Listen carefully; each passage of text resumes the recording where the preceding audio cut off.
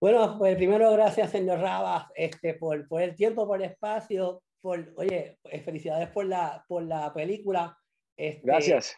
Eh, tenemos mucho de qué hablar, eh, el casting está muy bueno, la, y la historia obviamente, aunque es ficticia, los personajes todos son bien reales en cuanto a sus realidades.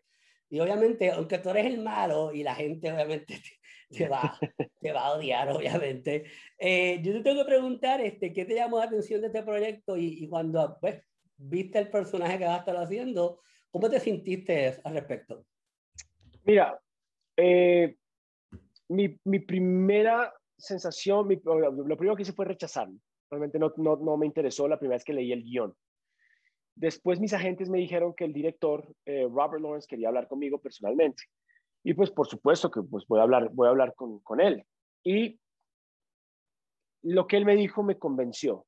Y es que primero que todo me dijo, mira, discúlpame por cómo está escrito, yo sé que, que, que, que, los latinos no son todos ladrones, ni narcotraficantes, ni lo tengo muy claro, pero necesito un villano para esta película, este es el villano que quiero, pero quiero que sepas que si aceptas este papel, vamos a trabajar juntos, vamos a trabajar juntos para buscarle el, eh, más dimensiones al personaje, ¿me entiendes? Para que realmente podamos crear a un, a un, ser humano de verdad, que finalmente es lo que un actor quiere.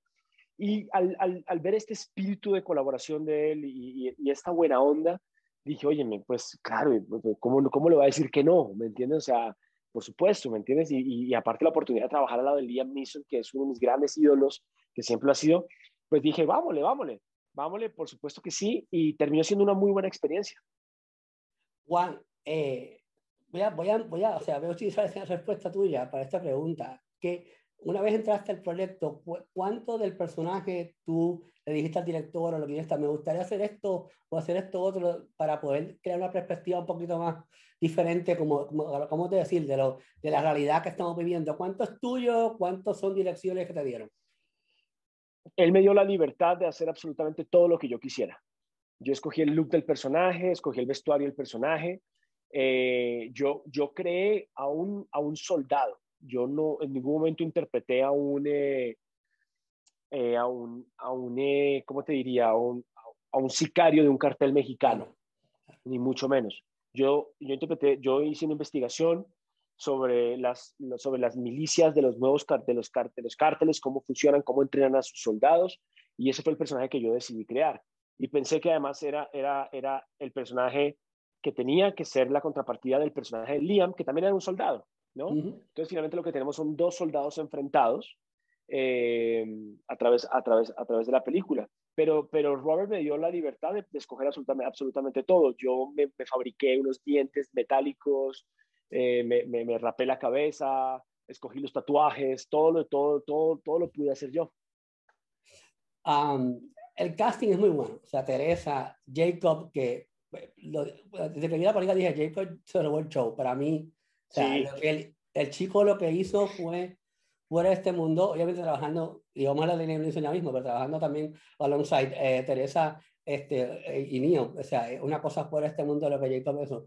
¿Cómo fue la química? ¿Cómo estuvo la química en el set? Este, obviamente tú siendo el bad guy, trabajando con un chico que es relativamente nuevo, que no tiene tanta experiencia, pero no... O sea, eso no fue lo que se vio en la pantalla. Se vio mucho comprendimiento, mucha, mucho una persona, un chico que está bien, con muchas ganas de aprender. ¿Cómo fue la química en, en el set con, con, con, con un tremendo casting?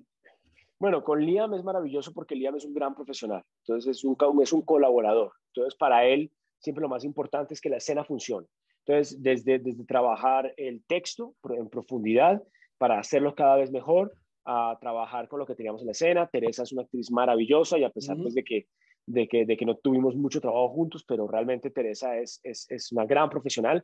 Y luego este chico, que fue una gran sorpresa para todos, porque todo el mundo estaba un poquito como, como bueno, bueno, como cómo va a ser el trabajo con él. Y, y él, él, parecía un adulto y parecía que tuviera 20 años en la, en la, profesión, porque realmente lo hizo, lo hizo muy bien y como tú dices, creo que se roba el show. Y es lo más importante de la película, es que este niño, ¿no? Eh, es el que le cambia completamente la perspectiva de vida a, este, a esta persona que es Liam, que tiene como unas visiones como tan, tan arcaicas, digamos, de, de, de, uh -huh. de la frontera. Um, Hablamos un poquito de Leon, este, obviamente, como tú bien dijiste, una leyenda, un individuo que ha hecho de todo. ¿qué pudiste aprender? Entonces, ya tú eres un veterano, porque en mi video, perdóname Juan, tú eres un veterano ya también, así que son dos veteranos hablando. ¿Qué, ¿Qué pudiste aprender quizás nuevo de Liam trabajando con él? Dos veteranos juntos trabajando, obviamente. Pues no, realmente creo que lo que, lo que aprendí Liam es que uno no tiene que cambiar nunca su forma de ser.